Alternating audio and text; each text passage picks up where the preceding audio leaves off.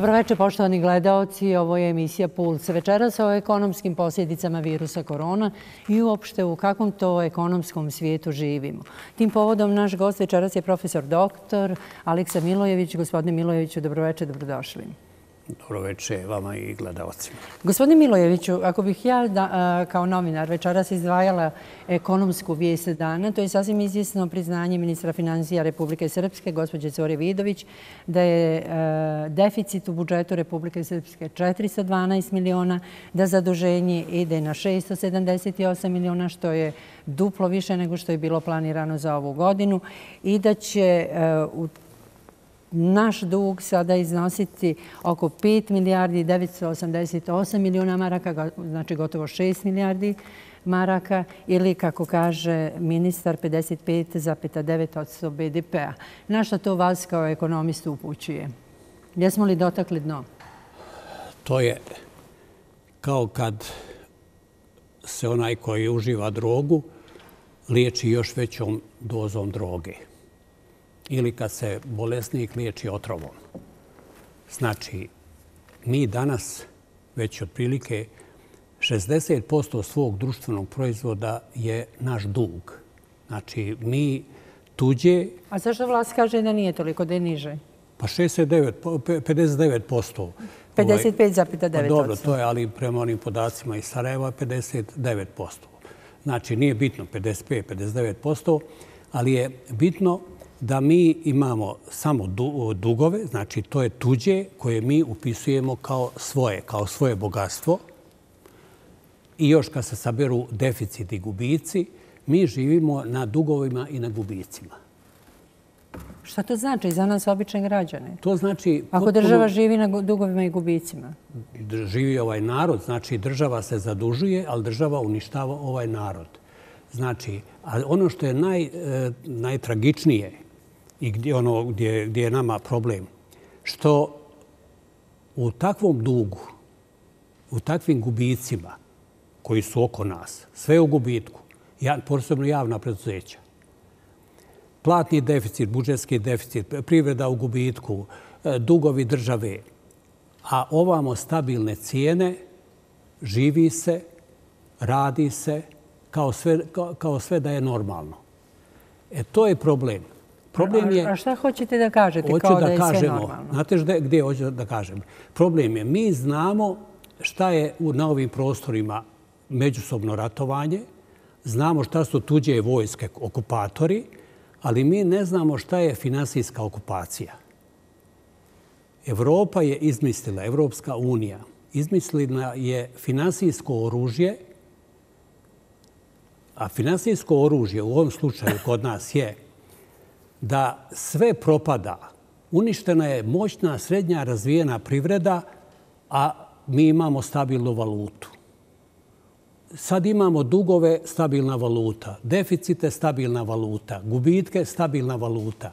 Znači, to je finansijsko oružje. Sve je mirno do, do konačnog sloma.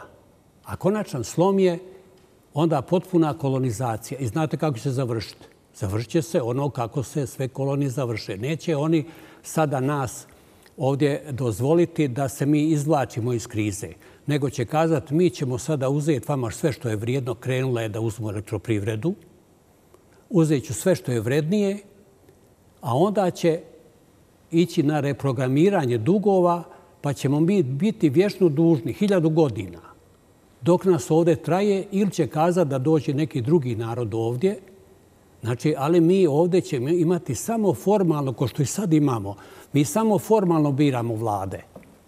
Vlade su tuđe. Kako tuđe? Čija je ovo vlada? Vlada Republike Srpske. Naša vlada izabrao je ovaj narod. Nek pokuša jedna ova vlada da kaže mi treba da ukinemo valutni odbor, da dođemo do vlastite centralne banke, da imamo, ne može postojati država bez novca. A mi imamo novac, konvertibilnu marku. Naš je sav novac u inostranstvu. 9 milijardi, 9,4 milijarde je našeg, po zakonu o centralnoj banci, svaka marka naša mora otići u inostranstvo.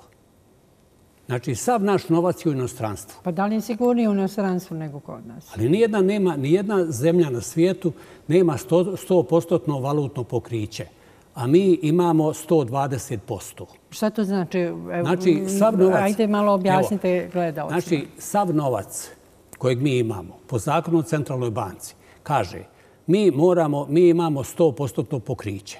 U bankama je pokriće 10, 12%, 15%, to je već veliko pokriće. Neke banke imaju čak i 7% pokriće. To je nekakva sigurnost, e, novčana sigurnost da banka ima pokriće, neku rezervu, ukoliko se dogodi nešto na finansijskom tržištu. A oni su rekli, kod valutnog odbora je 100% pokriće. I pošto ste vi rizično područje, novac mora da ide vani.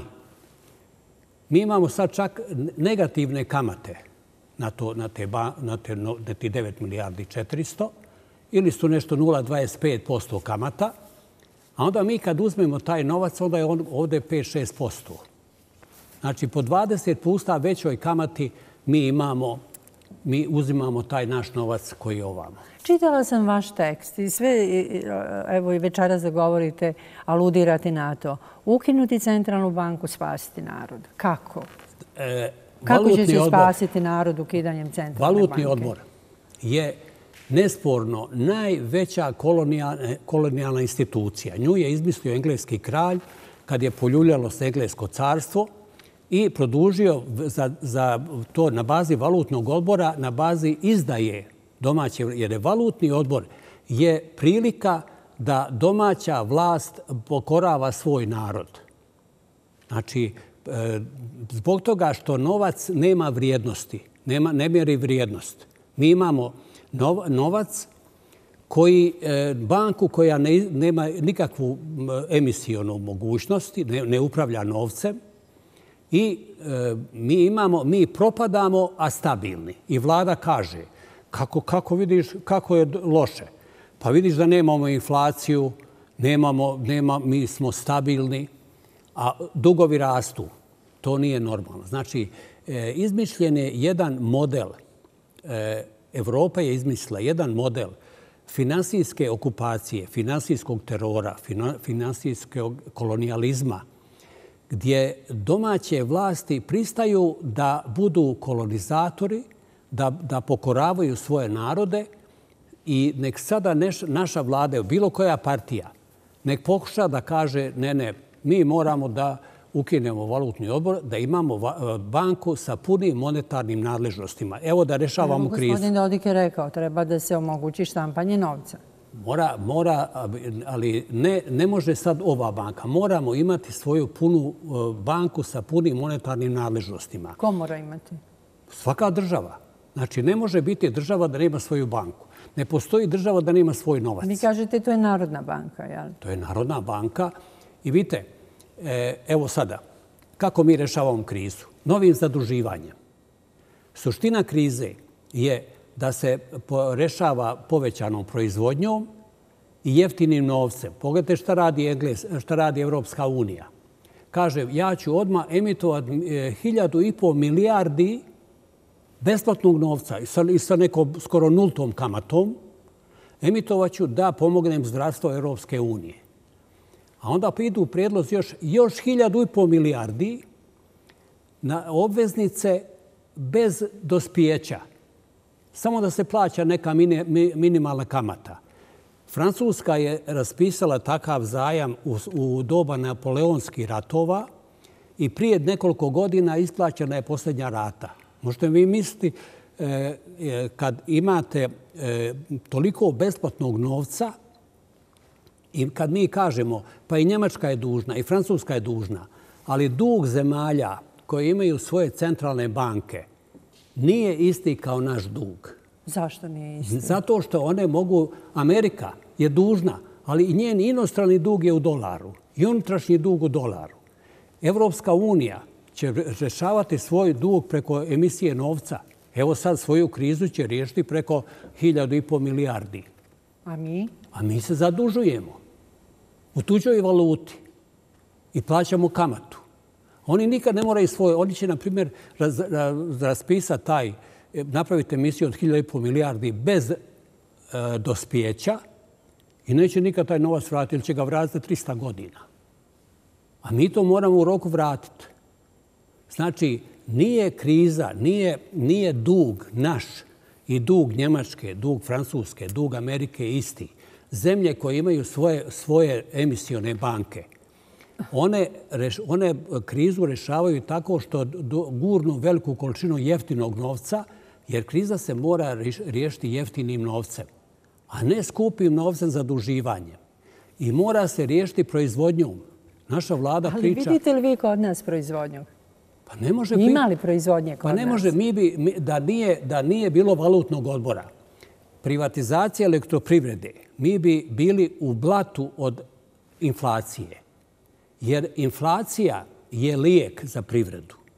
Inflacija, problem... problem Kako lijek za privredu inflacija? Zato što, zato što inflacija pokaže sve štete koje pravi vlada.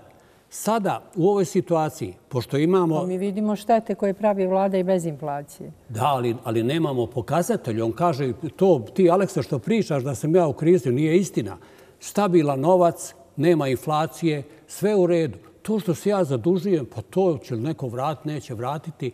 I što će jednom to doći kraj tome i što ćemo propasti u kolonijalno ropstvo, to, se, to je nevidljivo. Znači, to je ta finansijska okupacija da se neprijatelj ne vidi, isto ko korona.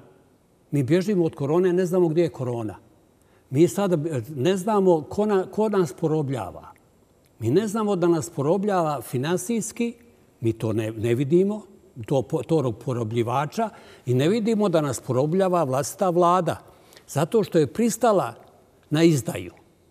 Znači, suština valutnog odbora je što je kralj izmislio da ne može više vojskom da porobljava, onda je kažao najbolje novcem. A novac je valutni odbor. Argentina je samo deset godina bila pod valutnom odborom. Trećina naroda je ustala na ulice, popalila sve što su Englezi i Amerikanci kupili, za sedam dana otjerali vladu i za dvije, za tri godine ozdravili. Da li su valuta baš ozdravili? Valuta je izgubila 80%, ali krenu, vratili su dugove i krenulo zapošljavanje i krenule nadnice da rastu. I Argentina se spasla. Znači, da, ali taj argentinski scenario se veoma često tumači u negativnoj konotaciji. Argentinski scenario je bio, pa oni su mučili, pa oni vojni udari, vojni pučevi i tako dalje. Kad su izmučili se, onda je neko, imali su inflaciju od 5000 posto i onda je rekli, ev, inflacija je, I onda, ajde, rešavaj to, rešava inflaciju preko valutnog odbora. No, Valutni odbor normalno da riješi inflaciju zato što oduzme novac. Čim oduzme novac, nema inflacije. A zato nema ni razvoja, imaju dugovi.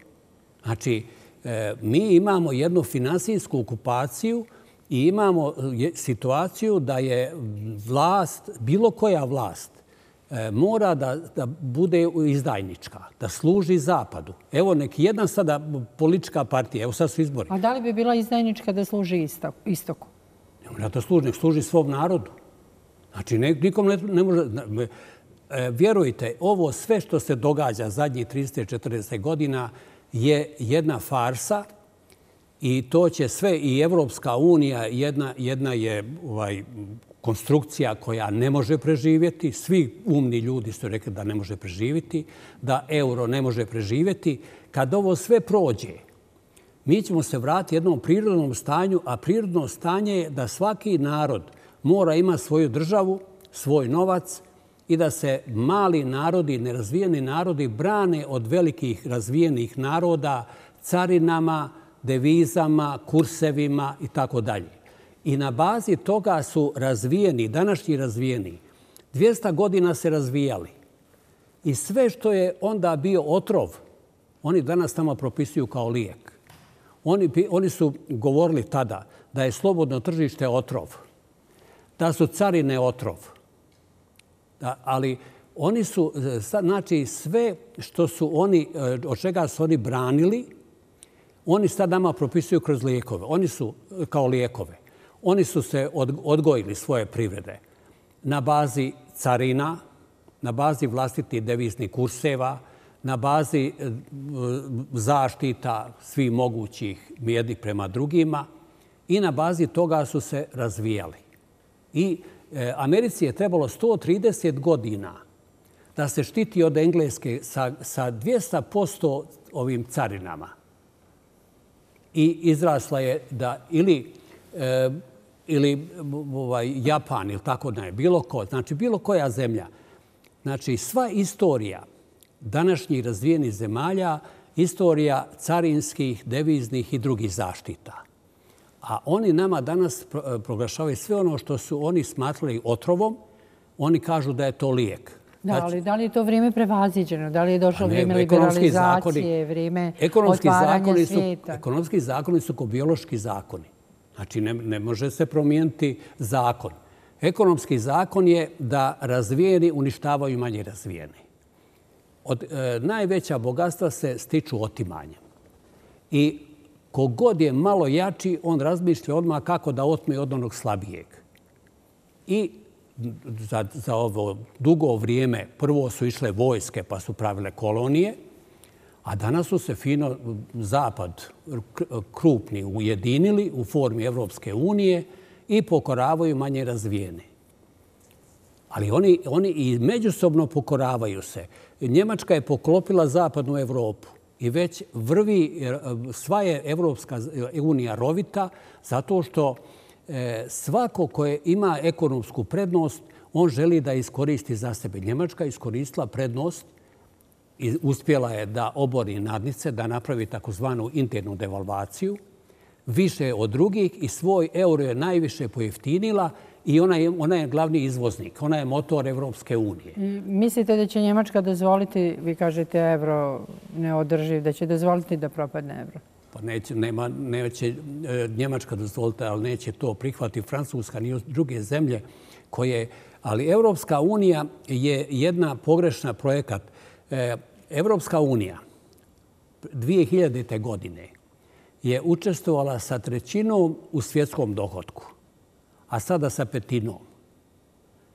Naj, e, sve zemlje koje nisu u Evropsku uniju imaju bolji razvoj i Danska, i Norveška, i Švajcarska, i e, Švedska, svi imaju brži mnogo razvoj nego zemlje koje su u Evropskoj uniji. Znači, Evropska unija je... Da, ali evo, virus korona je pokazao da ni te zemlje nisu zaštićene, ekonomije tih zemalja.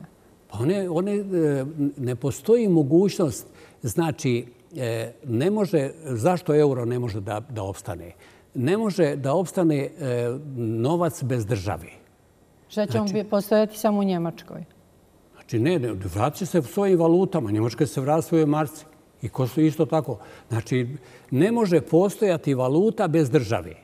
Evropska unija nije država, a ima valutu. Gospodine e, Milović, kad razgovaramo o Evropskoj uniji, mi se ipak moramo složiti da se, zahvaljujući postojanju te Evropske unije, neke siromašne zemlje, siromašne, bogatije naravno od nas, ali mnogo brže razvijale. Koje? Pa uzmite Španiju, Italiju. Ne. One su se zarazvijale zahvaljujući Evropskoj uniji. Ne, one su propale u Evropskoj uniji. Pa nisu baš propale. Propale su. Uzmite infrastrukturu. Pogledajte koliko su se zadužili. Uzmite infrastrukturu. Pogledajte pa koliko se zadužili. Sad je došlo to vrijeme da se zadužuju. Zadužuju se, ali nema nijednog pokazatelja da je i bilo koja zemlja u Evropskoj uniji napredovala. Znači, sve zemlje koje su članice Evropske unije je, su ušle u duboke dugove i ušle su u nerazvoj. Nijedna, nijedna zemlja, znači, to su ljudi izračunali, na primjer taj Štiglic koji je napisao tu knjigu oko evra, on je to sasvim analitički pokazao da ne može postojati valuta, kompozitna valuta, ako nema svoju državu. I to je, i, znači, oni su međusobno, Njemačka je uspjela da izmakne i samo je, e, Njemačka ima veliku koristi od Evropske unije, ali to narušava Evropsku uniju. I sad su velike raspove Evropskoj uniji. Ali je problem, što su se ti veliki, znači, ranije, oni 200 godina veliki hoće da pokore manje razvijene, oko slobodne trgovine koja traje 50-70 godina, oko e, 44. Godine ovaj Bretton sistem, jedna valuta, dolar, pa to propalo i tako. Znači, stalno je jedno nastojanje da e, krupni, razvijeni pokore male, manje razvijeni.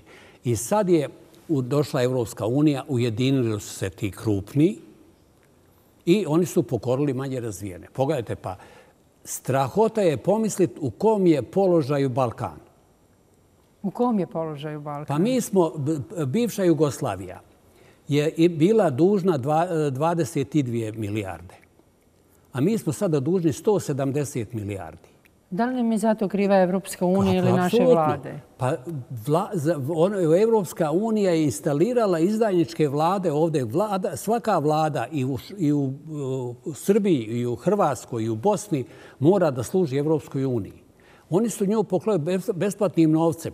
Pogledajte, e, ako smo mi svi u dugu, dug podrazumijeva inflaciju, pad vrijednosti novca. Međutim, nova stabilan.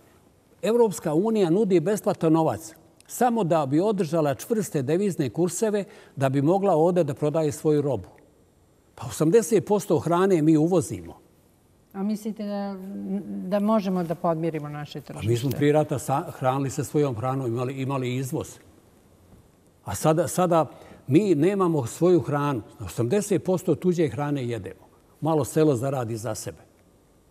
Znači, gdje je moćna srednje razvijena privreda? Je li i to uništila Evropska unija? Nego šta? Pa, e, Vašingtonski sporazum 89. godine, predsjednik MMF-a, Svjetske banke i predsjednik američke vlade. Vašingtonski sporazum. Idemo.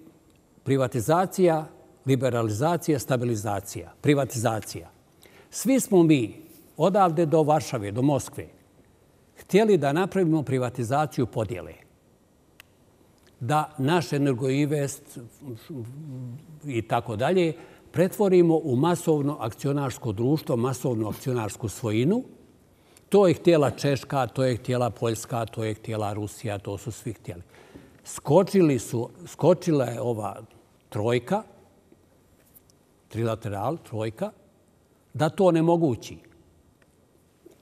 Ovdje u Bosni, da ne idemo dalje, i u federaciji i kod nas, evo ja sam bio na čelu te privatizacije u Republike Srpskoj, podijelili akcije da idemo, skočili i kad nisu mogli ništa drugo da uradi, doveli Milorada Dodika da ovaj, na, na silu smijenili vladu, doveli, napravili državni udar, smijenili vladu, doveli Milorada Dodika da poništi onu privatizaciju, da napravi, ovu, da napravi privatizaciju prodaje, i to je urađeno odavde pa do, do, dokle god je bilo komunizma.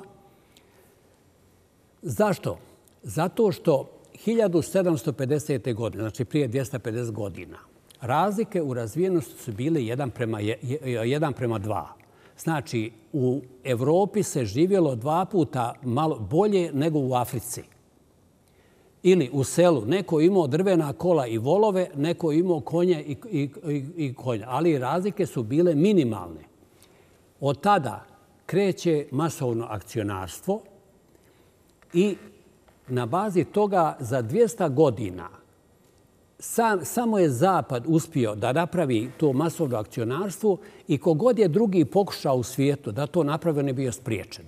I komunizam kad je padao, oni su htjeli da sav je komunizam htio da napravi masovno akcionarstvo, privatizaciju podjele, ali je ustali su e, iz Svjetske banke, iz MMF-a i tako dalje i na silu su spriječili to svugdje, ako treba državnim udarima, ko što je kod nas bio, ili u federaciji, spriječili su da se dogodi privatizacija podjele, da se ne dogodi akcionarstvo. Zašto? Zato što na zapadu... Da gledalcima objasnimo, to je bio koncept u kojem bi svaki radnik bio je li tako, na izvje... Mi bi imali... U određenom imao bi broju, količini, akcije i šta ja znam. Učestvovao u vlasništvu tog preduzeća, odlučivanju i sl. I akcionarstvo. Znači, na zapadu 80% 1% veliki od ukupnog broja preduzeća. 1% preduzeća pravi 80% bogatstva u Njemačkoj. Volkswagen, Mercedes, Siemens i ovo i ono. Znači, 1% svugdje pravi 80% bogatstva. E, 4% preduzeća pravi e, oko 15% bogatstva i 95% malih preduzeća pravi svega 5% bogatstva.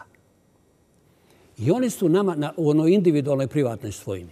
Oni su putem privatizacije nama ostavili najnemoćniju individualnu privatnu svojinu da mi, ona koja pravi 5% bogatstva na zapadu, da mi na tome pravimo svoju privredu.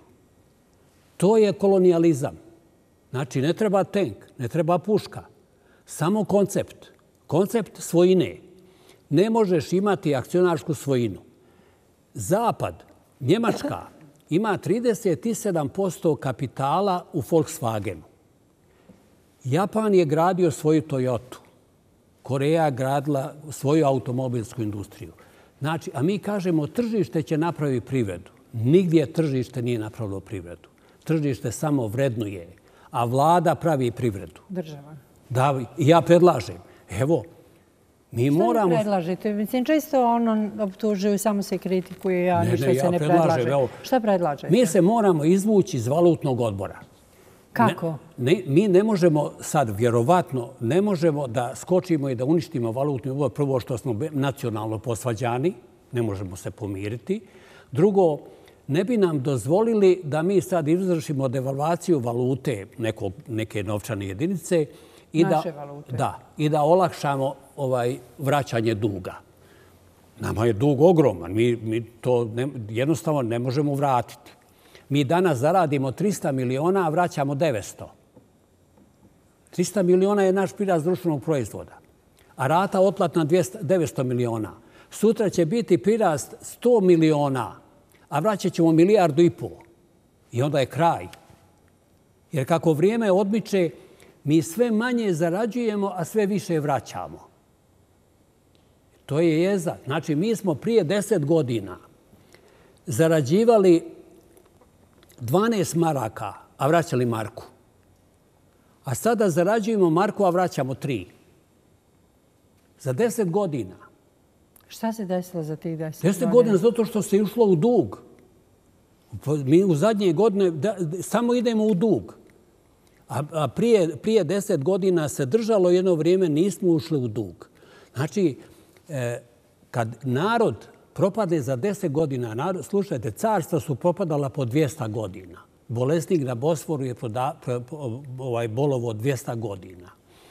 Evropska unija neće propast sutra, ali će propadat. Ona je, ona je počela propadat kad je, počela, kad je osnovana. Znači, od tada je počeo ovaj, smanjen prirast društvenog proizvoda u svim evropskim zemljama, u ovim Evropske unije. Znači, ona je počela da propada onda kad je osnovana mi kao narod nećemo propast za dan, za dva. Propašćemo, propadat ćemo, evo, propadamo 10-15 godina. Propadat ćemo još 10 godina. Ali ćemo nestati. Ako ovako, biološki ćemo nestati. I raselit ćemo se, otićemo, jer ovo, ovo što se sad događa, to nije moguće ekonomski izdržati. Znači, ostaju stari, iznemogli, nezaposleni, bez privrede, privreda propada, znači mi što se više zadužujemo, privreda sve mora više da propada. Zbog toga što mi, mi imamo veći odliv novca, znači mi imamo sada priliv novca 300 miliona, a odliv 900 miliona. Ta oskudica novca obara cijene i vlada kaže, pa evo vidiš, stabilno je. Znači, napravljeno je da je što je veća nevolja, ispada da je, da je bolje. Znači, E, nema novca, cijene padaju, preduzeća propadaju, a dugovi rastu. I to je dobro. Znači, to je ta finansijska okupacija. Mi da imamo svoju centralnu banku sa punim monetarnim nadležnostima, to bi se sve pokazalo u vrijednosti novca. Pokazalo bi se u inflaciji. I onda vlada ne bi, ne bi uopšte pomišljala da sada ponovo se zaduzi za 600 miliona, zato što bi ta bila inflacija 200%. Skočile bi cijene robama i narod bi izašao na ulicu. Mislite da bi narod izašao na ulici? Maka ne bi imao hljeba. Ne bi imao hljeba zato što... I sada postoji narod koji nema hljeba. Ne, ali onda bilo masovno. Jer onda bi moja plata bila tri puta manja. Ili ljudi koji primaju platu 500 maraka bi imao bi platu svega 100 maraka. Za 100 maraka ne može živjeti. A onda bi vlada... I onda bi se okupili u vladi ljudi koji nešto znaju da rade, koji moraju da urade. Mi imamo sada e, na baze ove finansijske okupacije, imamo situaciju da vlada se bavi nacionalizmom, bavi se pričama, bavi se ono, zato što ne gradi fabrike. Jer najveća se bogatstva stiču individualna bogatstva. Stiču se e, kad se narod uništava. Pogledajte. Da, ali mi sada imamo upravo to, sticanje individualnih pa bogatstava. Jeste. Pa zato što se e, bogatstva se individualno... Srednja klasa je potpuno izgubljena, uništena. Pa bogatstva se stiču onda kad se narod uništava. Ne, ne stiču se bogatstva onda kad se brine o narodu, o njegovom razvoju. Zato što, ne, zato što se brine o razvoju. I onda se sve ulaže. Pogledajte, mi pričamo komunizam. Koji je, koji je komunista toliko pokruo? Koji? Nijedan. A vi pogledajte sada... Dobro, sjećate se afere Neo, mislič. 3000 maraka. Tri, tri kamiona cigle. Pa se tresla Republika eh, Bosna i Hercegovina zbog tri kamiona cigle. Ili afere Agrokomerc. Sad bi Agrokomerc upad, ali sve investirano. Niko nije sebi uzao, ništa. A pogledaj, sad bi, sad bi uvrijedio nekoga kad bi u, u opštini rekao on ukro milion. Vrijedili bi ga. Jer to, to je nizak nivo. Mora, biti, mora ukrasti mnogo više. Pa pogledajte, ne, ne pojmljuje koliko su ta bogatstva pojedinaca, a koliko je narod propao. Da, da se može uništiti sre, moćna srednja razvijena priveda i da se to ne pokaže u inflaciji. Znači, ovi su majstori, oni znaju kako se pokoravaju narodi. On je u, u detonski sporazum ubacio valutni odbor. A onda prvo napravio valutni odbor i onda išao na privatizaciju. I on je, da nije bilo e, privatizacije, mi bi se možda i u okviru valutnog odbora izvukli. Ali on zna da mora da, da uništi svojinu. Hajde samo da napravimo kratku pauzu da vidimo blok reklama pa nastavljamo razgovor. Može? Reklami.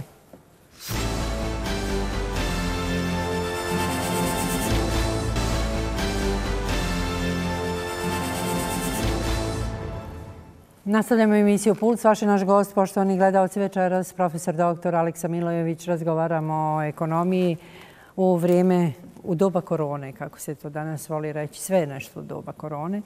Asocijacija na roman, ljubav u doba kolere. Ali evo, gospodine Milojeviću, kad razgovaramo o centralnoj banci, o valutnom odboru, o tome da vi predlažete Narodnu banku i ostalo, vi između ostalo kažete da je Prijetnja prekomjerne inflacije bi nas prisilila na, potpun, na potpuniju izgradnju države, prije svega na izgradnju racionalnog privrednog sistema, posebno uvodeći svojinske reforme. Šta to znači? Kakve svojinske reforme? Je li to otimanje od bogatih davanje siromašnje? Znate, prvo, mi sada, pošto mi nemamo mjeru vrijednosti, može svako da bude u vlasti. Svaku. Pa dobro, ne možete vi i ja. Pa ja ne mogu. Ja očito ne mogu. Znači, e, kad nemate mjeru vrijednosti, kad nemate novac, a novac mjeri vrijednost, znači vrijednost novca pokazuje šta radi vlada. Da li vlada pravi štetu ili pravi korist. A to se pokaže u inflaciji. Znači, ako pravi štetu, inflacija je. Ako pravi korist, cijene su stabilne. Međutim, Oni su napravili da su cijene stabilne kad mi propadamo. Zbog toga što se zadužujemo, manje, manje prirast, prirast društvenog proizvoda, odlaze više novca, manje novca, cijene padaju, privreda propada, stabilno je. Znači, napravljeno je naopako. Zato što nemamo novac koji mjeri vrijednost. I zbog toga dođu u vladu e, oni koji su politički podobni. Zato što nemaju nikakvu obavezu da prave privredu. Što će privreda? Kad može se živjeti bez privrede. Stabilno je. Nema, ne, cijene ne, ne, pa, ne rastu, ali mi propadamo. Sada, Znači, kad bi imali Narodnu banku sa punim monetarnim nadležnostima, da održimo vrijednost novca, mi bi se na nivou Bosne i Hercegovine okupili svi ljudi koji nešto znaju. Prije rata u Sarajevu su bila četiri ekonomska instituta. Mi smo radili, ekonomski institut je radio za izvršno vijeće i za CK. Nijedan dokument nije bio na vladi, a da nije prošao kroz ekonomske institute. Zato što se, što se to pokazivalo u novcu, pokazivalo u vrijednosti. Kad je inflacija bila 7%, mi smo svi trčali u Brga da vidimo gdje je žarište. Jer ne znam se gdje će buknuti inflacija. Sad inflacije nema. Mrtvo more. Znači, potpuno mrtvo more. E, da, da, ima, da ima inflacije, da imamo banku sa monetarnim nadležnostima, mi bi se okupili u Sarajevu svi i gradili državu. Gradili državu i u okviru države rešavali nacionalno pitanje. U okviru privrede rešavali nacionalno pitanje. Ne bi rešavali nacionalno pitanje bez privrede. To nije moguće. Samo siti ljudi, zadovoljni ljudi koji, koji, su, za, koji su zaposleni, mogu da budu racionalni i da imaju mjeru u nacionalizmu. Dobro, ali opet vi niste rekli šta znači ovo posebno uvodeći svojinske reforme. E. Je li to uzimamo od bogatih, dajemo Svojinske reforme, znači, oni su nas zarobili novcem, a zarobili su pogrešnom svojinom. Svojska e, svojinska reforma, znači, država mora da gradi privredu. Ja ovdje predlažem, pošto mi sigurno ne možemo da ukinemo centralnu banku. To ne možemo se dogovoriti, nismo Argentina, nismo ove oslobodlački pokreti, jer 70 e, zemalja je bilo pod valutnim odborom i po polovicom 20. vijeka oslobodilački pokreti su buknuli i uništili te. Svi su, svi su valutni odbori ukinuli, e, bili ukinuti revolucijom, oslobodilačkim pokretom. Nikad, nikad nijedna vlada nije e, odustala od valutnog odbora zato što nema ništa ljepše nego biti u vladi kad vlada valutni odbor. Možete da pravite šta god hoćete, štetu kogod hoćete, da kradete, da uništavate, da palite, da rušite, da rasprodajete, da se zadužujete i vi ste bos. Zato što valutni odbor takva, ta, napravljeno tako da, da se uništava vlasti narod. Ja predlažem, mi imamo 12 milijardi novca u bankama koji trune na kamati 1,2%. Mislite na novac stanovništva? Novac stanovništva, štednja. Znači, svi koji imaju nešto novac, pobjegli, ne ide u, u privredu, zato što je u privredi rizično, nema ga gdje investirati, neće ga, neće ga investirati kod pere koji ima 12 zaposlenih, da, da investira svoje pare. Nego je e, sav je novac otišao u banke po zaštitom čvrstog deviznog kursa. On je tamo siguran. Nije važno kolika je kamata, ali ne propada. Siguran je. To je kao za, zaštita. Što mi ne možemo ukinuti, ja kažem, hajde nek vlada formira investicijni fond kao svoju neku razvojnu banku. Znači, ne razvojnu banku, nego investicijni fond. Uloži u njega nekoliko miliona. I gradi neku e, prehrambenu industriju. Hvala Bogu, za, za, samo imamo sirovinu, samo nam treba prehrambena industrija. Mi ne možemo graditi poljoprivred ako nemamo prehrambenu industriju. Mi da imamo sad nekakav upi, da, da imamo... Da, evo odavde imamo šećeranu koja propada. Pa, pa ne bi propala da je država pametna. Ona bi uložila 2-3 miliona u šećeranu, onako ko što radi Zapad. Država prva, prva investira i sve, i Japan, i Koreja, i svi, sve u, svijetu, i Amerika, i svi, država je prvi investitor. I ona uloži i na bazi toga krene akcionarstvo. Znači, kad drva, država uloži u šećeranu, još bi sigurno 7-8 hiljada ljudi uložilo u šećeranu. Izvadilo bi svoje pare iz banke na 1% i dalo, dalo u šećeranu po 5%. I buknula bi akcionarska svojina. To je svojinska reforma. Znači, država mora da pokrene svojinsku reformu. Da, ali ljudi više ne vjeruju državi. Oni ne vjeruju da će te njihove akcije vrijediti, da će oni nešto dobiti. Pa ne, ali mi kad bi, kad bi država uložila, kako, kako ovaj, Njemačka vjeruje ovaj, što je Njemačka uložila 37% u Volkswagen? I svaka, sve, mislim, primjer Švajcarska, primjer ovaj, da, Volkswagen. Da, to su razvijene zemlje, a mi smo... Pa nisu oni bili prije 100 godina razvijeni. To je prije 100 godina je, ovaj, kad je Hitler gradio Volkswagen, on je, on je prvo je država uložila u Volkswagen. I te akcije su ostale vječno. Znači, zašto Francuska drži u Renault svoje akcije? Ko, ko drži Renault? Ko drži Toyota?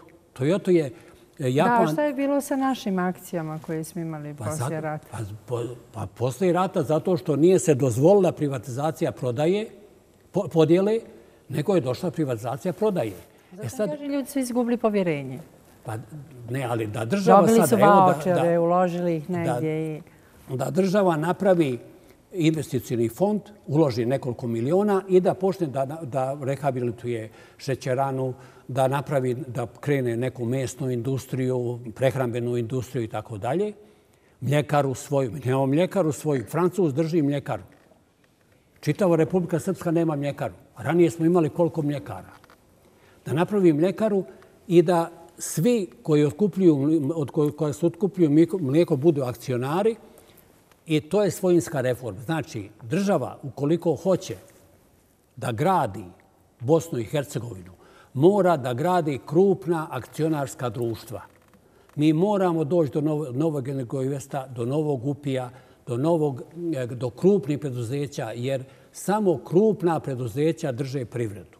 Na zapadu, kažem, 1% preduzeća drži 80% bogatstva.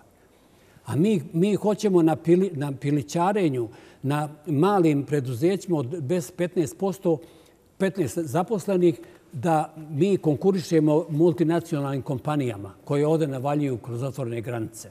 Znači, mi moramo napraviti monetarnu reformu, jedna od monetarne reformi investicijni fond, da zaobiđemo valutni odbor, da izvučemo pare iz banaka koje su poklopio valutni odbor, da ih okrenemo u privredu, a e, novac neće da krene u privredu bez akcionarskih društava. Znači, moramo napraviti velika akcionarska društva, država to mora napraviti i da taj novac 12 milijardi da krene u razvoj. I onda bi krenuli. Međutim, to vlast neće. Prvo, zato što, će se, zato što će se zamjeriti Zapadu, napravit će razvoj, a nama je razvoj zabranjen. Zapad ne da razvoj mi moramo imati ovdje patriotske ljude u vlasti koji neće gledat kako će se obogatiti u vlasti, nego će gledat kako da spase svoj narod. Mi nemamo takve slučaje. Takav slučaj je e, za poštovanje onaj e, e, Island koji je spasio svoji 300.000 ljudi jer je došao predsjednik koji se okrenuo narodu, pohapsio ministre, pohapsio poslanike i spasio državu. Spasio svoji 300.000 ljudi mi čekamo nekog patriotu. Nije patriota onaj koji se svađa preko, na nacionalnom pitanju, nego onaj koji zaposli ljude, koji spasi ljude. To je patriota koji, ne da, koji, ne, koji se ne zadužuje, nego gradi privredu. Najveća je izdaja zaduživanje. Zato što ta izdaja je bez metka ubijanje svih unuka i pravunuka. Ubijanje naroda. Bez metka. To je najpodmuklije. Više je ljudi, od privatizacije umrlo nego što je izginulo u ratu. Umrlo zbog toga što je izgubilo svoje preduzeće, što je, što je umrlo prije vremenom smrću, što je ostao bez djece, bez unučadi i tako dalje. Znači, to podmuklo ubijanje je gore nego ratno ubijanje. Jer u ratu se vidi ko je neprijatelj. A mi sada mi, mi mislimo da je naša vlada naš prijatelj, a vlada uništava jer, jer dug je gore od haubice. Gore, od, gore, gore dugovi su gori. Znači, evo, vlada neće ni da razgovara o tome, da kaže, evo, da napravi investicijski fond, da zaobiđe ovaj, i da mi na bazi toga vraćamo dugove, a onda da se oslobodimo valutnog odbora. A da li je IRB bila ta šansa? Investicijalno razvojna banka? IRB je politička institucija. Znači, neko mora da pravi e, privredu. Znači, IRB može da bude, ali da napravi, e, da, da krene u, u investicije u akcionarstvo.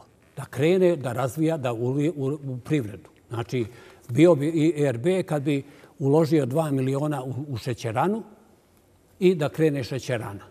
Kad bi krenuo da gradi dvije mljekare, kad bi krenuo da bi bio IRB, taj investicijni fond.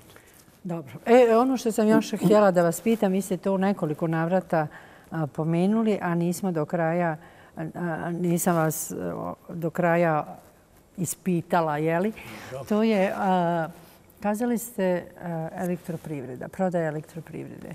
Ko će to prodati elektroprivredu? Ko će to kupiti elektroprivredu? Zašto? E, Mislim, uveliko se priča Srbija će kupiti elektroprivredu. Evropa nema energetike, energenata. Do uskoro 70% energetskih potreba zapadna Evropa mora da kupi ili da otmi. Ona će od velike kupit, od Rusa će kupit, od nas će otet. Otela je i krenula je i sad oni su, oni, oni to idu u rukavicama. Kako ne idu, će oteti? Ne idu sila. Idu ovako, kaže, mora se izvršiti elektroreformisanje. Mora se izvršiti reforma elektroprivrede. A mora li? Mora kaže, ukoliko nećete sankcije, ne možete trgovati električnom strujom preko granice. I to je već zaprijećeno tri puta kod nas, da, se, da će nam uve sankcije zbog toga što smo mi probili rokove, nismo se uključili u ovaj reformu elektroprivrede.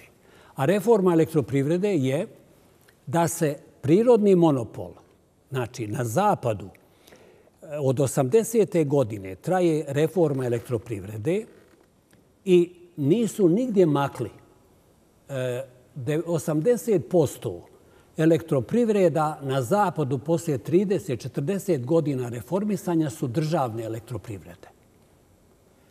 I jer je e, e, elektroprivreda je prirodni monopol, znači prirodno je da elektroprivreda bude distribucija, prenos i proizvodnja. Tad je e, struja najjeftinija.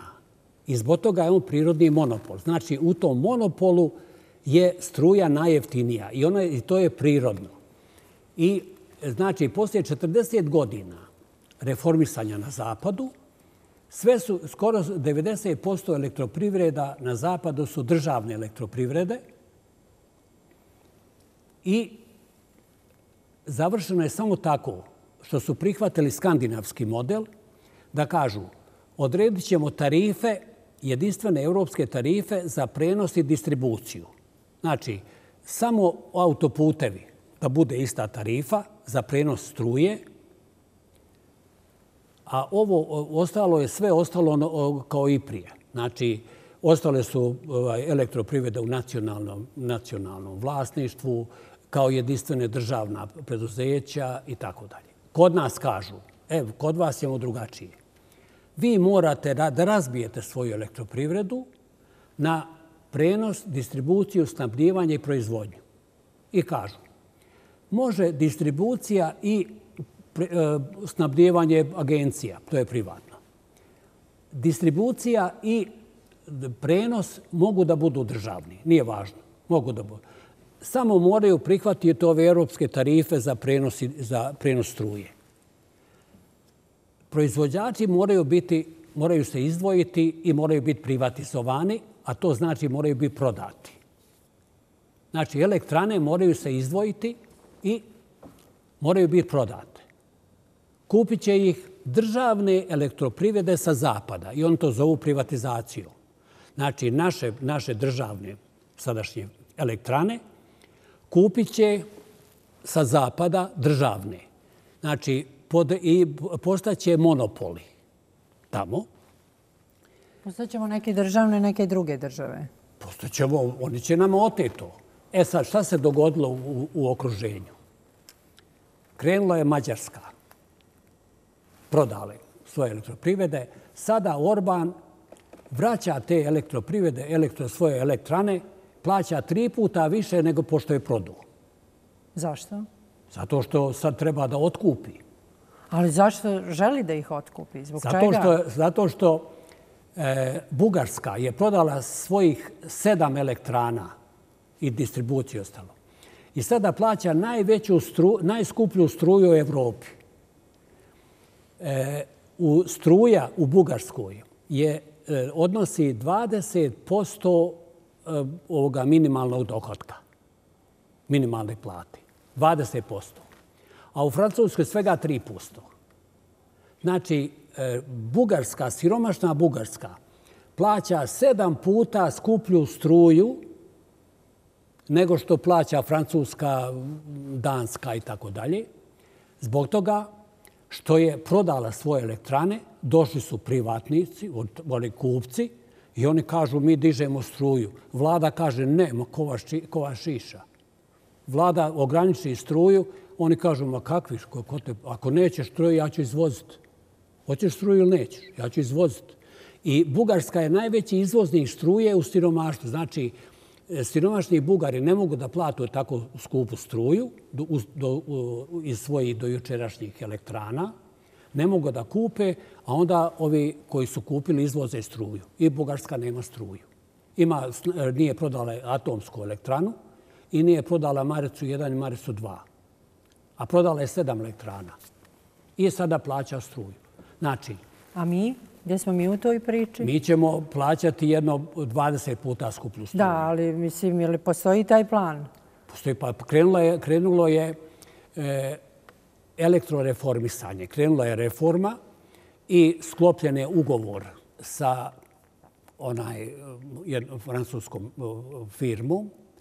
Englezi su platili to. Da, da se izvrši u prvom koraku reformisanje, snabdjevanje i, i, i distribucija.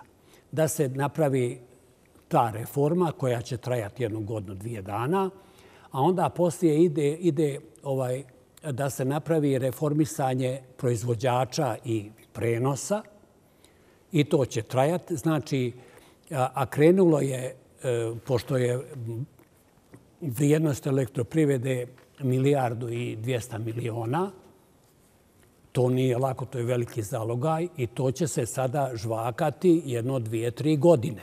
I krenulo je po starom modelu, proizvodi gubitke i već je elektroprivreda sva u gubicima.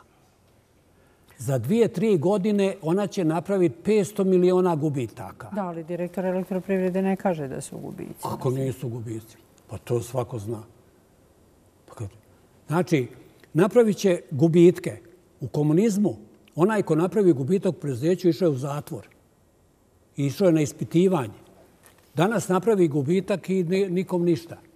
Znači, ide model ide reformisanje isto kao što se događalo sa, sa ovom e, privatizacijom privrede. Krupna preduzeća. Sva su propala, nije čak niko, niko ne kupio. Elektroprivrede će kupiti. Pokupit će zapad. Znači, e, ide reformisanje i kad, kad ide reformisanje, ide jedna nestabilnost. Reformiše se distribucija, a ne, formiš, ne, ne reformiše se proizvodnja. I onda sad nastane problem unutrašnje organizacije i, i tone se u gubitke. Naravno, pošto je to nalog kojeg vlada mora da izvrši, to je nalog, mora da se izvrši reformisanje, onda mora se praviti gubici. I pravi se, pravi se gubici. Za dvije, tri, četiri godine mora se napraviti zapadu se ne žuri on ide polako. On zna sigurno da ova vlada mora to da uradi, inače neće biti, neće biti u vlasti. Pa našim izborima upravlja Zapad. Ko je, ko je mogao da uđe u vlast da nije miljenik Zapada? Ko, ko je ovdje? Napravljene su na izbori. On znam, ali mi izlazimo, mi glasamo. Pa mi, mi formalno glasamo, pa mi ćemo vječno formalno glasati. Ali to je samo formalno. Ajde nek neko, neko, neko kaže ja ću napraviti reformu, napravit ću razvoj i nek izađe, pred, nek izađe e, da, da dobije vlast. Nikad neće dobiti vlast. Znači, mi smo jedno okupirano područje, sa zapad nas je okupirao i mi imamo da ekonomski služimo njima i to je čitav Balkan tako. Znači... Da, profesore, malo čas ste rekli, e, je li Evropa, ako sam vas razumjela, zapad, zadovoljava 30%, ali tako? Samo on ima... On će, ali jesmo li mi suviše mali? Šta i mi nismo. značimo? Kako nisu? Ako, ako on pokupi 50 elektrana, Mađarska, Rumunija, Bugarska, Makedonija, Albanija, e, mi, Srbija, Hrvatska, skupi 50-70 elektrana. Nije to malo. Zar im nije lakše da naprave dil sa Rusijom? Kako? Od Rusije moraju kupiti. A on ovde, on ovde e, elektranu od 700-800 miliona kupi za 50 miliona. 40 godina ništa u nju ne ulaže. U Bugarskoj onaj koji je kupio elektrane nije uložio marke. Nije uložio ništa. Jer napravite elektranu, malo napravite remonta i vi nju godištite 40 godina. Dobijete besplatno. Dobijete besplatno vodu, rudu, zemlju. Znači, ovo elektroprivreda je naša zadnja šansa hoćemo ostati na ovim prostorima. Znači, uništena nam je privreda, uništena je poljoprivreda zbog toga što nemamo svoju prehrambenu industriju i faktički mi moramo prodavati svoje jeftine sirovine. Mi smo kolonija, oni su faktički privatizovali naša poljoprivredna dobra, poljoprivredno zemljište. Jer mi smo njihovi robovi. Znači, mi moramo E, jeftino prodavati e, onaj u Bratuncu, maline, neće da napravi ni hladnjaču, nego dođe sa kamionom hladnjačom zakasni nekoliko dana da maline malo propadnu, da obori cijene i vozi u Beč, u Austriju, napravi tamo prehrambenu industriju i onda je ovde vraća. Znači, mi smo, e, oni su privatizovali naše zemljište preko proizvodnje siromaštva, preko proizvodnje ovaj, jeftinih e, poljoprivrednih proizvoda. A naša vlast neće da napravi prehrambenu industriju, da mi izvozimo prehrambenu industriju, proizvode prehrambene industrije, a ne da, da, naši, da budu sretni zato što neko otkupljuje maline, otkupljuje kupine, otkupljuje ovo, otkupljuje ono, otkupljuje šljivu. Znači, e, sad je došla na red elektroprivreda. Oni moraju da, pošto Evropa nema svoju energiju, ona mora to da otme. Ona mora da otme Drinu, mora da otme Neretvu, mora da otme Bosnu, mora da otme Unu, mora da otme Rudnike, Igatsko i Ogljevik i ovo i ono. Mora da otme. Kako će oteti? Pa, pa, pa zato što će kupiti jeftino. Kupit će to za 50 miliona, za 100 miliona kupit će Ugljevik. I, I mi ćemo plaćati struju pet puta skuplje. I nećemo imati struju, a struja je e, javno dobro, zbog toga što, što struja proizvodi e, sto puta veću vrijednost nego što je vrijednost struje. Znači, struja je svugdje u proizvodnji. Kilovat proizvede, e, proizvede vrijednost koja je sto puta veća od kilovata. Ako nemate struju, nemate uopšte mogućnost proizvodnje. Znači, suština e, elektroprivrede, suština svake države je da dobije što jeftiniju električnu struju, zbog toga što kad dobije jeftinu struju, onda može da gradi na njoj privredu. Znači, ne, nije moguće graditi privredu bez struje, odnosno na skupoj struji. Znači, mi onog momenta kad prodamo elektroprivredu, mi možemo ugasiti svjetlo ovde. Jednostavno, nije moguće, jedno, pogledajte kakva je Bugarska. Zato nije moguće, Orban je patriota i otkupljuje sada, skupo plaća. Otkupljuje, moli da kupi. Tri puta veću cijenu plaća. A mi, naš vožd, vožd veliki, kaže mi moramo pustiti elektroprivredu u konkurenciju. Isto ono što je pričao prije 20 godina, kad je došao, kad je dolazio, kad su ga doveli na vlast, govorio je mi moramo privatizovati privredu radi da bude konkurent na zapadu. Gdje je privreda? Isto sad govori, moramo reformisati elektroprivredu da bude konkurentna. Što će nama konkurencija kad mi imamo sada pet puta jeftiniju struju od zapada? Kod nas je oko 5-6 koliko ovaj centi, a tamo je ovaj po, po 20, po 30 centi. Znači, mi imamo sad jeftiniju struju. Pa mi smo sad konkurentni. Što, što nama treba konkurentnost? Znači, konkurentnost je zadnji korak u razvoju. Znači, ne e, priveda se ne izlaže, e, ona nesposobna priveda, ne izlaže se konkurenciji odmah, nego se napravi priveda koja je konkurentna. Da je e, Japan pustio u slobodan uvoz automobila, nikad ne bi imao Toyota. Nego je 30 godina ulagao u Toyota, a držao carine da napravi Toyota. Znači, a naš... opet vraćate na carine. Pa opet carine, zato što mi moramo se štititi. Mi smo manje razvijeni i nema druge zaštite nego zaštititi se valutom i štititi se carinama. To je, to je, znači, e, sada, pošto je došlo za obaveza, ako nećeš reformisat, moraš, moraš onda e, ići, ići na sankcije. Sankcije ne možeš da trguješ preko granice sa strujom. Znači, to je, to je okupacija.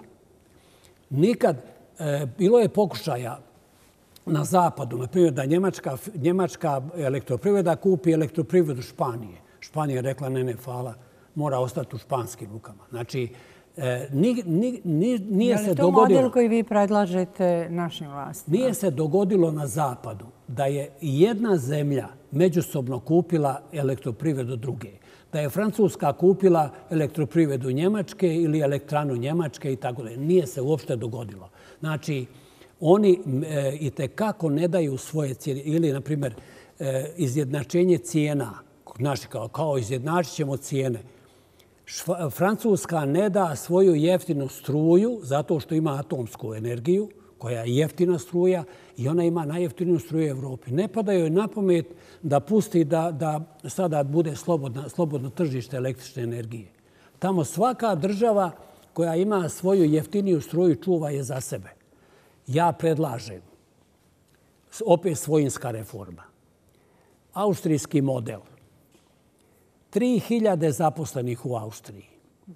Napravi vrijednost od 2 milijarde i 800 napravi neto dobit od 800 miliona kod nas, 9000 zaposlenih, napravi vrijednost od 600 miliona i gubitak od 150 miliona.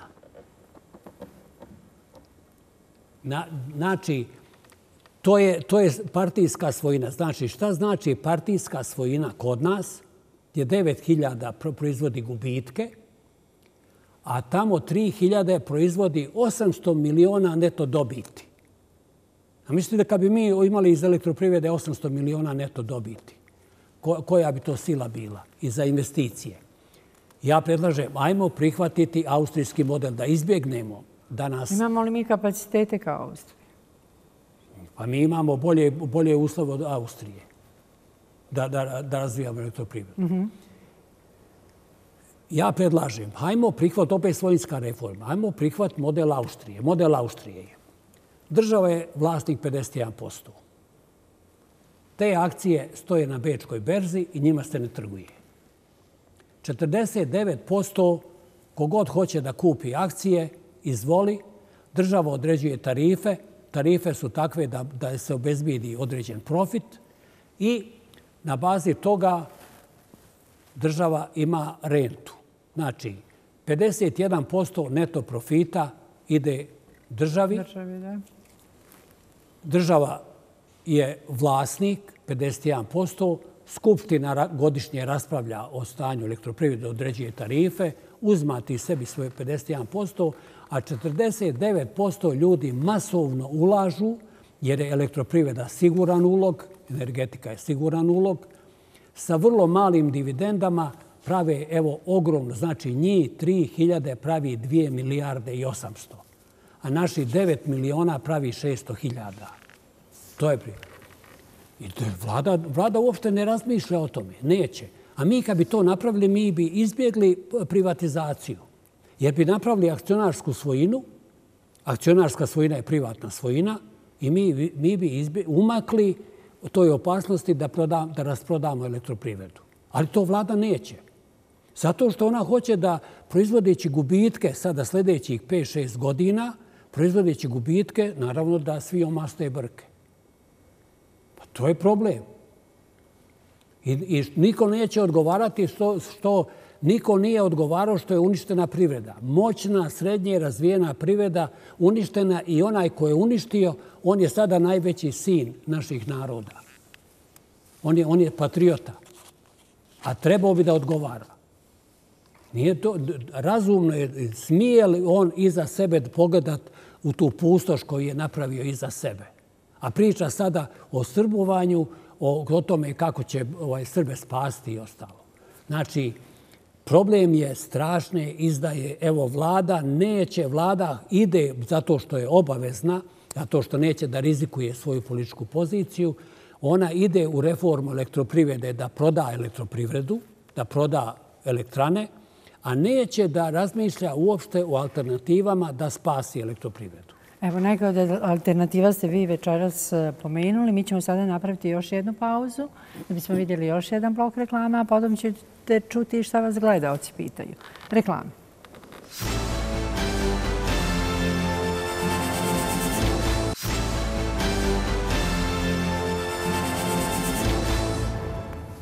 U emisiji Pulsi razgovoru sa našim večerašnjim gostom, profesorom doktorom Aleksom Milojevićem.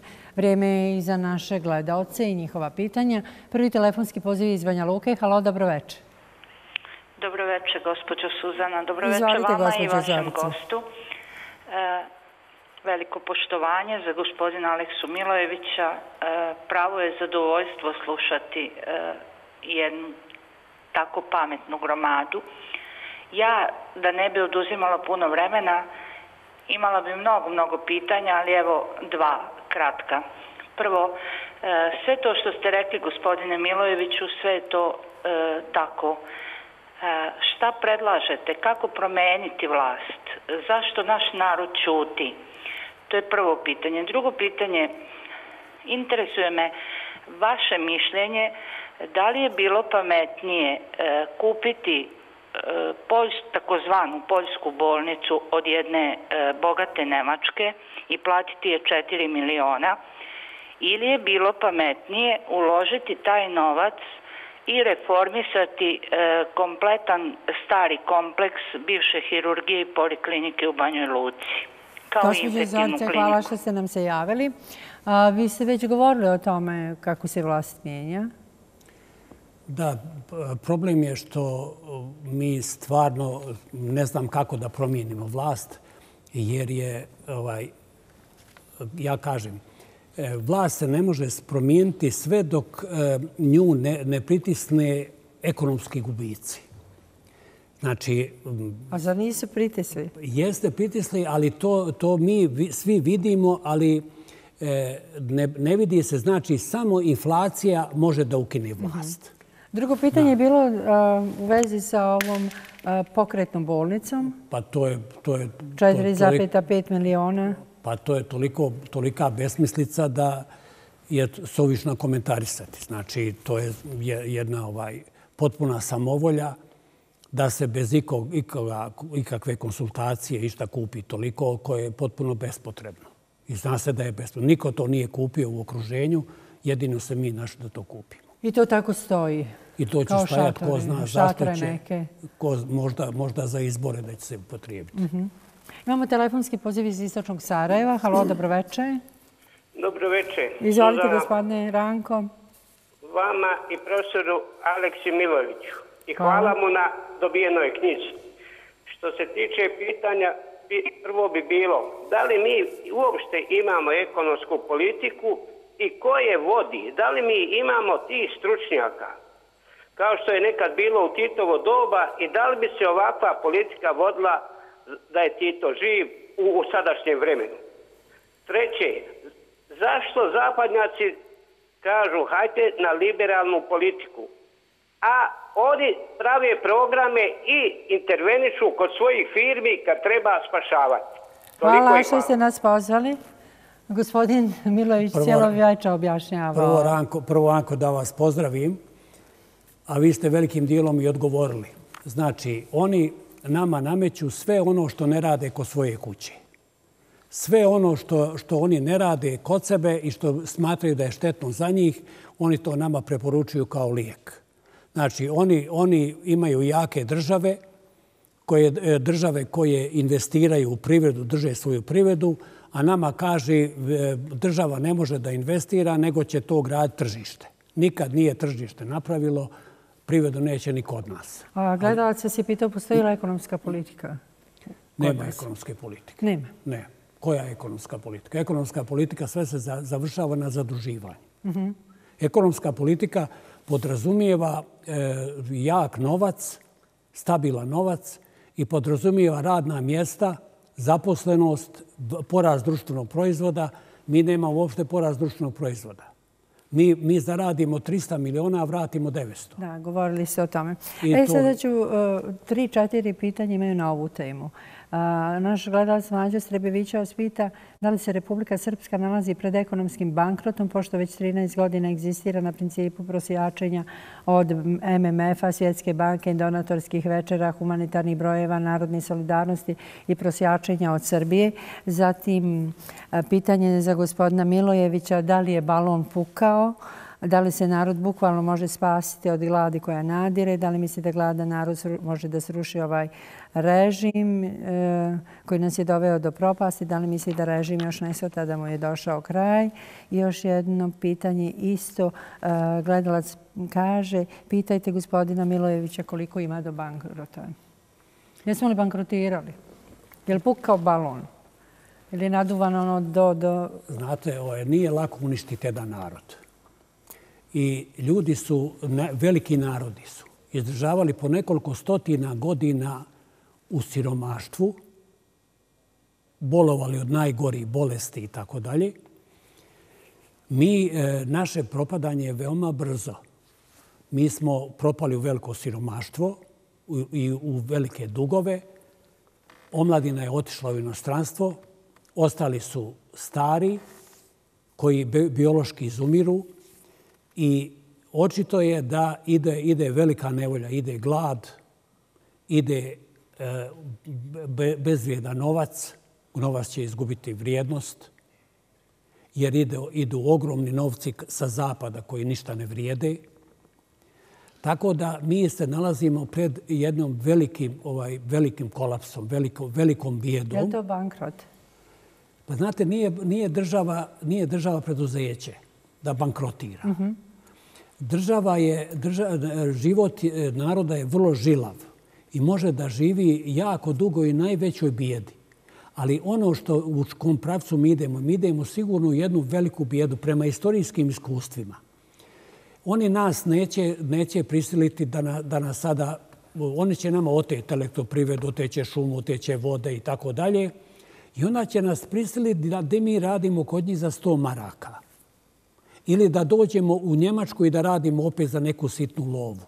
Znači, da budemo evropski proletarijat, evropska sirotinja, da budemo u svojoj zemlji tuđinci, da ne bude naša zemlja, da bude tuđa elektrana, da bude tuđa drina, tuđa šuma i da mi budemo ovaj, tuđinci na svojoj zemlji.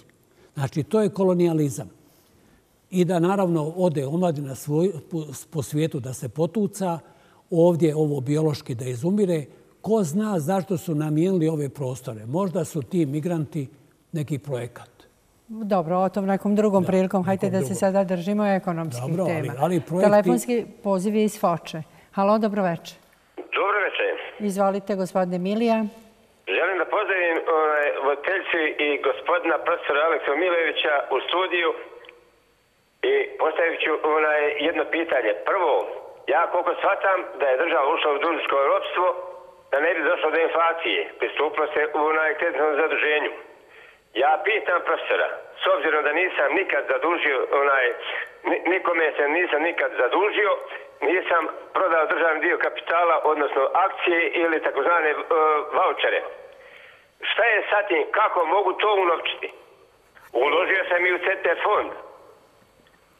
Hvala što ste nas pozvali, iako e, sam ja jako loše razumila pitanje, ali koliko sam shvatila šta je sa voucherima od prve privatizacije? Od vouchera prve? Da. Pa oni, oni su, ovaj, ona, oni, na, na što misli, oni 15 dinara? Da.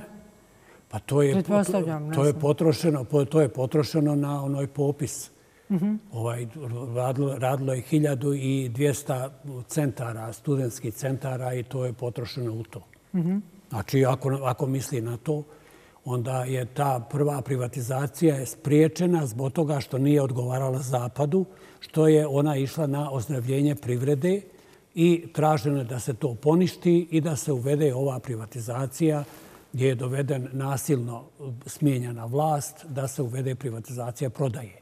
I to je urađeno i kod nas, i u Srbiji, u Makedoniji, Hrvatskoj, u Federaciji, u Poljskoj, i u Mađarskoj i svugdje. Znači... Imamo novi telefonski poziv. Javlja nam se naša gledateljka Vesna iz Broda. Halo, dobro večer. Dobro večer. Izvolite, gospođo Vesna. Gospođe Suzana, dobro vam večer. Pozdravljam vas ponovo, također i profesora Milojevića. Jedan put sam imala čast da pomognem štampanje njegove knjige, ali to je bilo recimo prije 10-12 godina. Imala bi kratko i na brzinu dva pitanja. Molila bih gosta da izvrši osvrt na ekonomski razvoj Srbije i da nam da ocjenu da li je to razvoj. Pod dva, možemo li mi napredovati istim modelom i mogu li nam naša braća iz Srbije pomoći? To je pod jedan. I želimo li mi da nam naša braća iz Srbije pomognu na isti ovakav način, barem poslovnim vezama, ako ne sredstvima. Hvala, Hvala što ste nas pozvali. Biću vrlo direktan. To što se događa u Srbiji e, nema skoro nikakve razlike nego što se događa kod nas. To je rasprodaja Srbije, to nije razvoj, to je dovođenje stranih investitora i podvođenje Srbije u kolonializam, kineski i bilo koji drugi. Samo onda kad bi u Srbiji se neko, ne, neko napravio novo, novo preduzeće Zmaj, novu petoljetku, nov, novu veliku firmu, onda bi bilo e, moguće govoriti o razvoju u Srbiji. Znači, samo onaj ko pravi velike firme, vlastite, on pravi razvoj. A dovođenje stranih investitora... Dobro, ali pa vidjeli smo da se baš u ovom slučaju korona Srbija mnogo bolje snaša nego mi. Mnogo bolje, da kažem, Znate, kad vi možete, utakmicu nego mi. Oni su počeli da proizvode lijekove kojima se liječe posljedice, odnosno simptome korone. Počeli su da proizvode, ne znam, kvasac. Počeli su da proizvode nešto što je njima bilo najneophodnije. A mi smo ovdje čekali da nam pošalju stalke za infuziju i pokoji dinar. Oni su ipak nešto, ali mi nismo ništa. Ali, ali e, to je minimalno. Šta je za jednu Srbiju da napravi kvasac? Srbija koja, koja da, imala stilnu industriju. Da, šta je za Galeniku da napravi lijek? Dobro, ali... to nije velika stvar. Ali Galenika nije državna. Nije, nije akcionarska. Galenika je privatna. Znači, e, individualna privatna svojina zašto su sva preduzeća koja su velika bila propala. Znači, ne može e, e, privatnik, jedan privatnik držati veliko preduzeće. E, znači, Srbija ide isto pogrešnim pravcem. Ono, rasprodaja, vi možete sasjeći šumu i kazati ja imam dohodke. Možete rasprodavati zemlju deset godina i kazati ja imam razvoj. Ali Srbija se najviše zadužila u ovom vremenu. Srbija je najviše rasprodala. Dovela stranih investitora. Ljudi rade za, za 400-500 eura. Što je bolje nego nikako. Znamo li, to je kolonijalizam. Ne može se živiti od 400-500 eura. Mi, mi, smo, mi moramo imati vlastiti razvoj gdje će ljudi zarađivati 2000 maraka. Da, to bismo svi voljeli, ali hajte da budemo iskreni. Evo, Srbija je u toj situaciji da danas može svim punoljetnim svojim građanima da isplati po 100 evra. Šta mi možemo da očekujemo od naše države? Kad se misli na narod, kad vlast radi za narod, mi smo u onoj zemlji imali u jednom momentu najbrži razvoj na svijetu. Svaki pet godina mi smo poduplirali društveni proizvod. Što je, evo sada Vučić ili bilo ko, nije važno, vlada, evo, kod nas vlada neko 20 godina. Pa mi imamo sada objektivno manji društveni proizvod nego što smo ga imali kad, kad se odbije dug. Pa bila velika država. Ma imali, mi imali, imali vlast koja misli na narod. Pa bila je velika država, pa bili su veliki sistemi. Ma nije istina, mali, mali narodi po Evropi, Evropa je mali, mozaik mali naroda koji imaju tekako uspješan razvoj. Znači, možemo mi sada, Slovenija je mali narod, pa ima razvoj. Što mi nemamo razvoj? Pa dobro, evo i Srbija ima razvoj. Ona, Slovenija ima 80 e, milijardi društvenih proizvoda, 80 milijardi maraka, a mi 10. 10 puta već. Mi nismo niskim uporedivi. Znači, e, da zaključim, e, model razvoja koji se događa u Srbiji je kolonijalni model, isto kao što je kolonijalni model naš model. Znači, samo onda kad vlade počnu praviti vlastita preduzeća, krupna preduzeća, budu akcionari, kao što je to Njemačka u svojim preduzećima, onda će biti razvoja. Bez toga nema razvoja. Država mora biti prvi investitor u krupna preduzeća, a onda krupna preduzeća povuku mala i srednja. Ne može biti malo bez, bez krupnog. To su besmislice. Da, ali mi u Srbiji vidimo izgradnju autoputeva, vidimo da se ulaže u tu zemlju. Izgradnja autoputa su imamo kod nas? kolonijalne institucije. Autoputevi trebaju zapadu da može brže i jeftinije da ovde pokupi sirovine da, i da nam vrati Dobro, gotove proizvode. Dobro, ali trebaju ljudima da lakše dođu sa tačke A na tačku B. Ali postoji odnos između, između infrastrukturnih investicija i investicija u, u, u privredu. Znači, samo mali dio mora da ide u infrastrukturu, veliki dio investicija mora da, da ide izgradnju privrede. Koja, ko gradi privredu u Bosni i Hercegovini? Ko, ko investira? Pa privatnici. Pa privatnici to su pilićarnici. Pa ima ti ipak i neka veća preduzeća. Pa ima, ima 50 zaposlenih. Imate sistema koji... Ma koji? Pa evo, 50 zaposlenih. U ovoj firmi radi 100 ljudi. Pa dobro, ali šta je to? Ali mi moramo imati firme od, od, od 15.000 zaposlenih. Samo veli firme od 15, 20, 30.000 zaposlenih. To su firme. To su firme. Mi danas ne imamo tih firme. Mi otvorili granice, a imamo male ili liputance koji nas i gaze nas multinacionalne kompanije. Više puta ste večera spomenuli komunizam i Jugoslavije. Zar ne mislite da je to vrijeme prošlo? To vrijeme prošlo nepovratno. Znate šta? Kad, e, da je valjalo komunizam, možda bi Komunizam kao sistem imamo sto zamjerki. Ali mi smo u komunizmu bili, e, na, imali najbrži razvoj na svijetu. Stigli do neposredne demokratije. Naravno, svi... Da li je to bio dio politike? Dio, pa dio politike velikih? Bio, kojima je odgovarala Jugoslavija da se tako ne. razvija. Mi, nego mi eto tako sami. Sami nego šta? Slušajte, ja sam živio to i, i proživio taj život tu. E, tad je, bez obzira kako, ali, se, ali je vlast mislila na narod i vlast se plašila naroda. Plašila se naroda.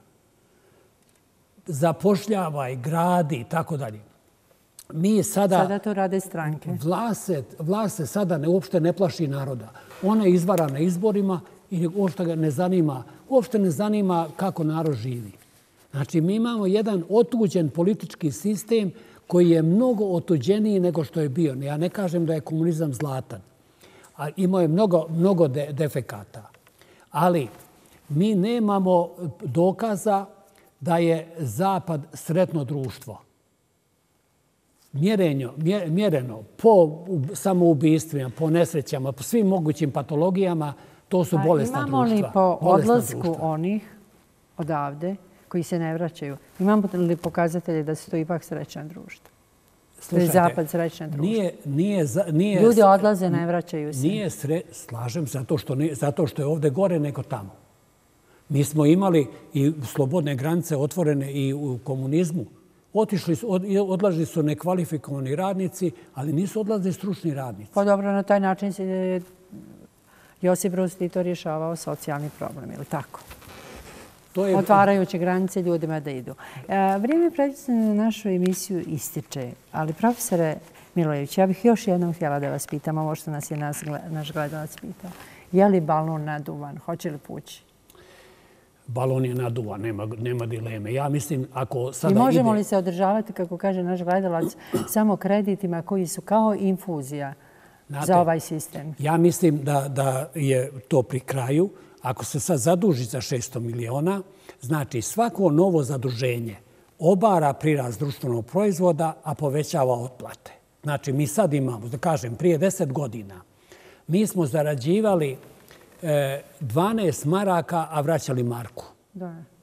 A sada zarađujemo tri marke, zarađujemo 300 miliona, znači zarađujemo marku, a vraćamo tri marke. Znači, potpuno obrnuto. Za 3-4 godine zarađivat ćemo marku, a vraćamo ćemo pet maraka.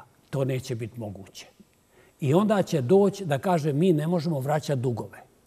Ne možemo vraćati, nećete vraćati dugove. Uzet ćemo elektroprivedu, uzet šumu, uzet ovo, uzet ono, a vi ćete onda biti ovde naši robovi.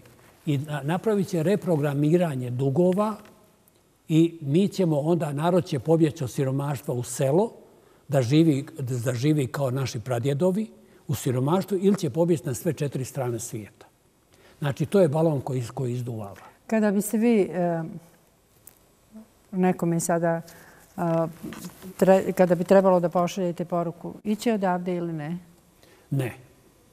Ja mislim da ovdje ima takav potencijal razvoja da je samo treba da se oslobodimo ove izdajničke vlasti, da dođe, dođe vlast koja je spremna da zalegne za narod kao što je zalego ovaj predsjednik u, u Islandu, da krene, da se okrene narodu, ja se nadam da će ovaj narod iznijeti, iznijeti nekog patriotu, prepoznaće ga i da, da je moguće vrlo brzo napraviti razvoj. Mi smo, opet se vraćam, ne zato što je komunizam, mi smo bili 45. 7. godine zakrpani. Bilo je više zakrpa na, na leđima nego, nego kaputa. A mi smo onda za sedam godina se već nosi, vozili u automobilu, u Fići. Za, za 20 godina mi smo bili srednje razvijena zemlja. Znači, razvoj, je, razvoj, brz razvoj je moguć, samo treba vlast da se okrene narodu, da počne brine za narod. Dobro. Pitali su vas gledalci za, kratko molim ću vas, vrijeme nam isteklo, za vouchere. Pitaju da li su vouchere pokupovali tajkuni i tako jeftino došli do preduzeća, tako je neko kupio fabriku za 100.000 maraka, a onda zemljište pretvorili u građevinsko i zaradili nekoliko miliona. Da li su vouchere kupovali tajkuni? Pa ja koliko znam da su voucheri kupovani za otkup stanova i tako. Ovaj. Pa nisu za preduzeća jeftino dolazili do firmi? Pa mislim da nisu. Dobro. A ovo ne, kako je neko kupio fabriku za 100.000 maraka, onda zemljište pretvorili u građevinsku i zaradili nekoliko miliona? E, sad je problem, ovaj, tu postoje, postoji zamka. Zamka je u zakonu o privrednim društvima. Mhm. Svugdje na zapadu niko nema većinsko upravljačko pravo. Kod nas, onaj ko ima 51%, ima većinsko upravljačko pravo, on otme i oni 49%. E sad tu je, znači, stranci su majstori zla. Majstori. Nisu ovo stranci radili, naši ljudi, kupe. Pa nijedan zakon, nijedan zakon, kad je pravljen zakon o privatizaciji, bila je formirana komisija, nisu se složili i onda su stranci donijeli zakon. Nijedan zakon posle rata nije mogao da ode na skupštinu dok nije otišao u OHR. Da, ali naši ljudi su kupili zemljište na kojem je bila fabrika, srušili fabriku, napravili stambeni kompleks ili tržni centar. Pa to su radili naši ljudi, kriv nam sad stranci. Pa zato što, što su to stranci omogućili zakonom, znači on je 70, e, kod kad je bila privatizacija. Ok, stranci su krivi. 70, Gdje je moral onda naših ljudi? E, to je problem. To je problem. U politiku se ide sa obrazom, sa moralom, a ne da se obogati. To je problem. Kad, ćemo, kad će ovaj narod iznijeti ljude koji idu u politiku da spase narod, da vole svoj narod, a ne da ga pljačkaju.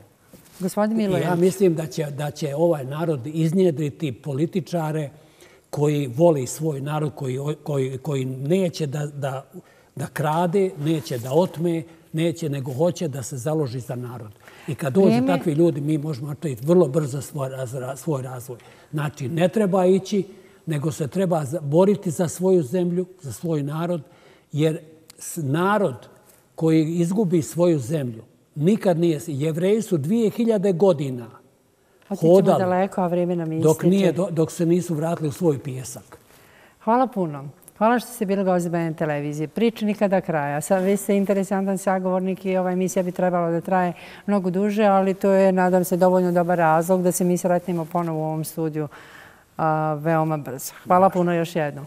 Poštovani gledalci, vama hvala za pažnju, čekajući neka bolja vremena o kojima je govorio profesor Milojević večeras. Ja vas srdečno pozdravljam. Nadam se da će doći, nadam se zbog naše djece, da će živjeti u nekom boljem i ljepšem svijetu. Vi ostanite uz program BN televizija, a mi se vidimo ponovo za sedam dana. Prijatno večer.